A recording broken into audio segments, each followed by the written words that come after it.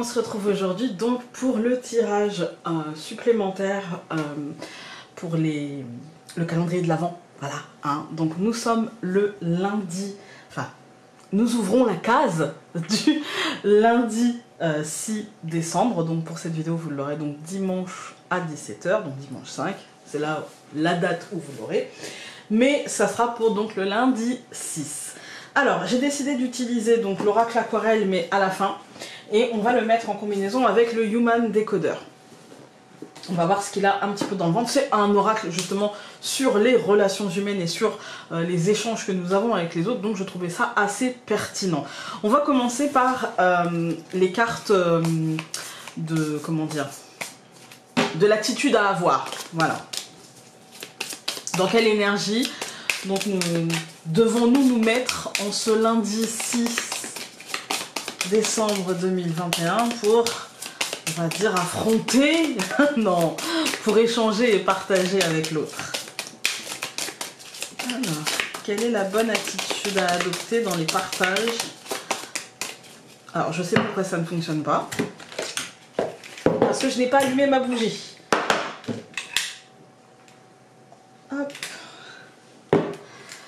Maintenant, ça devrait... Il y avait un truc qui n'allait pas. C'est que psychologique, j'en sais rien sûrement, mais ça devrait mieux fonctionner. Alors, dans quel état d'esprit devons-nous nous mettre? Ça fonctionne tellement bien que ça saute de partout. Hein? Voilà, voilà. Alors...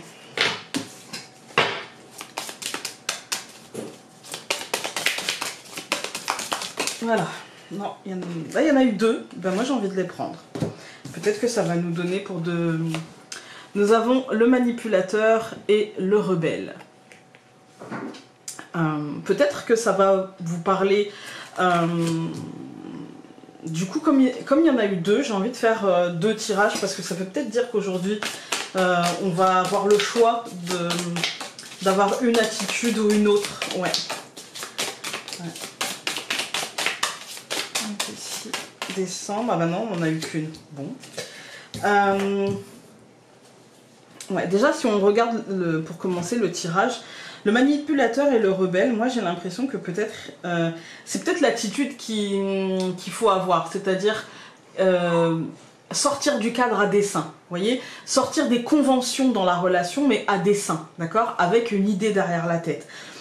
La deuxième carte, c'est s'accuser excessivement.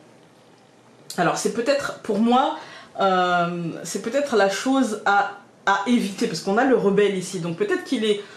Il n'est pas nécessaire de s'accuser excessivement parce que du coup ça serait too much, vous voyez, dans les relations, oui c'est de ma faute, oui t'as raison, non mais voilà, de s'auto-flageller, vous voyez. C'est pas forcément la meilleure, euh, la meilleure des solutions. Parce que avec la manipulation et le rebelle, moi ça me dit surtout euh, entendre l'autre, équilibrer le truc, mais ne pas s'auto-flageller pour autant. On va voir ce que ça donne euh, en tout. On va directement tirer les deux autres cartes, peut-être qu'elles vont nous dire euh, le contraire, hein, mais dans, ma manière de voir les choses, c'est jamais bon les excès, euh, soit ne pas entendre, vous voyez, genre, bah non, j'ai raison, t'as forcément tort. Hein. moi, je, je, pense toujours, Igor Dosgor, cherche pas ta tort. On a les références qu'on a. Ici, on a la bonne distance. Ouais, vous voyez, c'est vraiment le truc, euh, l'équilibre à trouver entre... Je sais que j'ai des torts, parce que dans une situation, aujourd'hui, s'il y a une dispute, s'il y a un conflit, s'il y a quelque chose qui ne va pas, j'ai forcément ma part de responsabilité. Mais c'est pas parce que j'ai ma part de responsabilité que tout est de ma faute. C'est pas parce que j'ai ma part de responsabilité que je dois m'auto-flageller. L'autre, un emmerdeur.